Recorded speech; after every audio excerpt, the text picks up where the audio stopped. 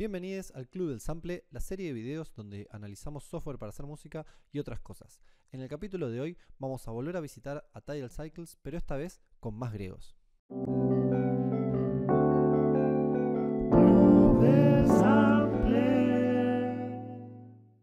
Para el programa de hoy tenemos un montón de cosas preparadas, pero antes de adentrarnos en el uso de Tidal Cycles tenemos nuestro primer momento burocrático.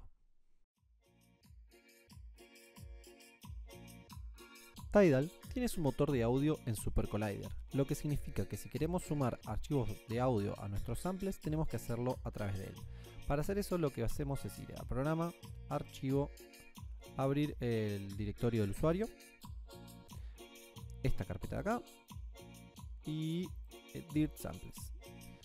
Si acá pueden ver todas las carpetas donde yo tengo archivos de audio. Cada una de estas carpetas tiene distintos archivos de audio que yo escribiendo el nombre de la carpeta lo llamo en el editor de texto eh, Atom. Por eso si yo busco la carpeta JBBass puedo ver que hay muchos más sonidos de los que yo tenía en cuenta. A decir verdad. Em, si queremos sumar sintetizadores, el, modo tradicional y más fácil es hacerlo a través de Sindef, que tendríamos que verlo en otro capítulo, pero yo tampoco soy experto en Super Collider, yo esto lo fui copiando de por ahí.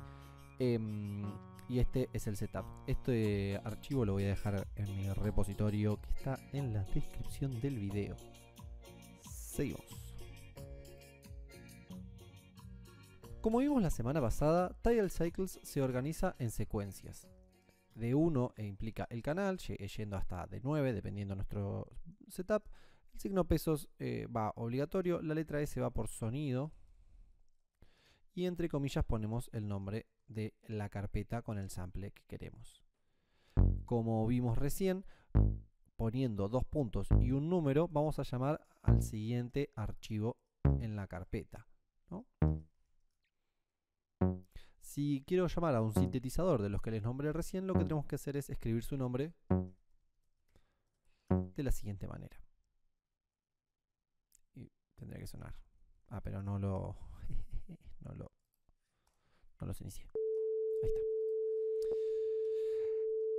La nota o note funciona distinto para samples y para y para sintes. En el caso samples la nota funciona igual que poner dos puntos y el número de carpeta. Entonces si pongo 1, nota 1 es lo mismo que poner dos puntos n. Cuando uso sintes, primero que nada se escribe al revés. Primero se escribe la nota y después se escribe el nombre del sintetizador. Entonces, si pongo 0 voy a poner el 2 central. Si pongo 1 2 sostenido, 2. Esto también lo puedo poner con letras, ¿no? Siguiendo en cifrado americano. O con notas, número de notas, si no me equivoco. No, no, no, no, eso está mal. Em, creo que hay que poner MIDI note. Ahí va, sí. Entonces el 64 sería la nota 64 en un teclado MIDI. Eh, creo que hay otra manera más, la, voy a seguir eh, indagando por ahí.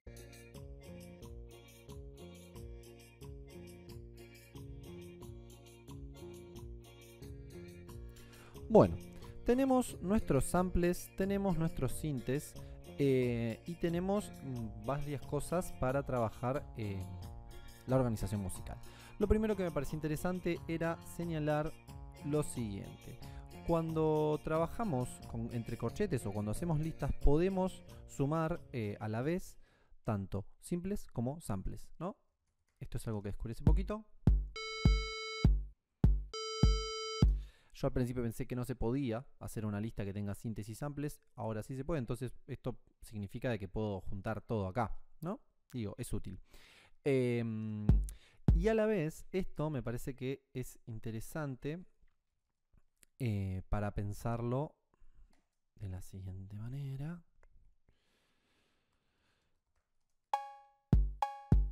Bien, Cuando escribimos listas eh, y las separamos por comas, lo que estamos haciendo es lo mismo que si hiciéramos así.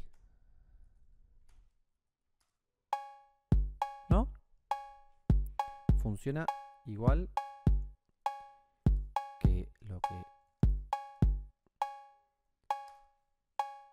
que esto, ¿no? es, más, es escribir lo mismo, lo, que, lo cual está interesante porque en un solo canal pongo todo lo que yo quiera y además porque, si se habrán dado cuenta, rítmicamente hablando, empieza a organizar las cosas de una manera muy interesante que se podría llamar una polirritmia cuando sucede, como es en este caso. Pero si yo, por ejemplo, pongo 4 de un lado y 2 del otro, no hay polirritmia. ¿No? Ahí no hay polirritmia. es un compás de 4 cuartos.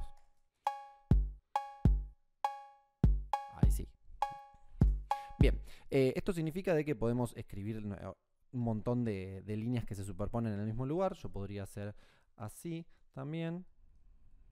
Ah, ¿No? Y si le pongo cinco pasos, la secuencia va, va a también ser polirrítmica en relación a las otras.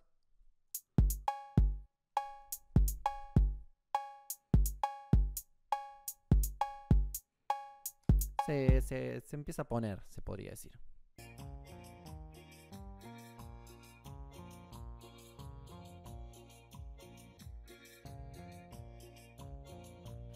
Ahora sí, estamos en el momento que todo el mundo estaba esperando, el momento euclidiano. Y como vimos la semana pasada, en realidad fue hace varias, eh, el algoritmo funciona de la siguiente manera, se escribe eso que acabo de poner, 3,8, significando 8 la cantidad de pasos y 3 los golpes que hay, ¿no?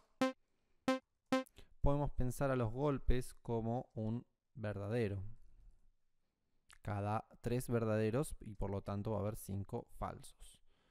Esto vamos a guardarlo para después. Eh, algo que también hay que pensar es que el último valor que le podemos poner es el lugar donde va a arrancar. Eso significa que si hacemos lo siguiente...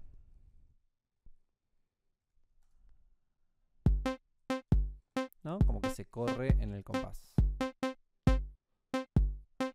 Está bueno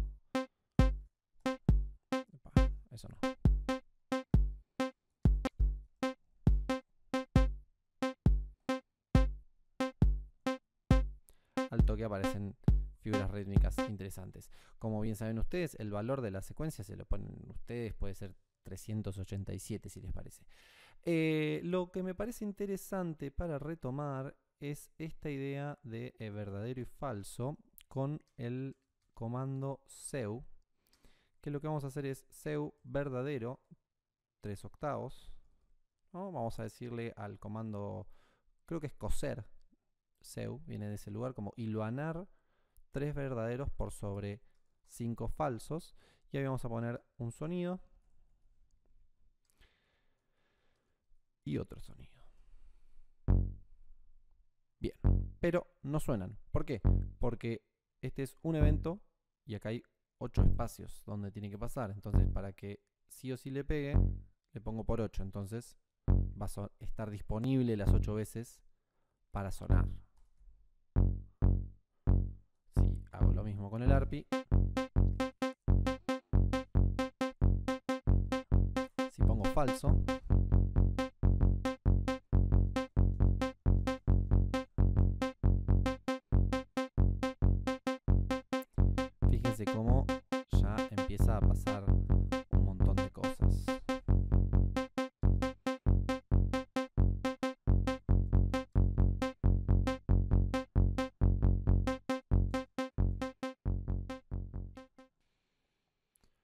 Bueno, en el capítulo de hoy vimos un montón de cosas y vamos a hacer un breve repaso. Fue cómo sumar samples o sintes nuevos, cómo llamarlos, la diferencia entre notas para los samples y notas para los sintes. Em, también vimos un poco em, eh, un par de usos más de corchetes que la última vez no habían quedado tan bien. Y entramos un poquito más en esto del algoritmo euclidiano y la función esta de SEU, de, de entretejer. Ahora voy a hacer un pequeño set de Litecoin usando estas herramientas, así que nos estamos viendo en el próximo capítulo.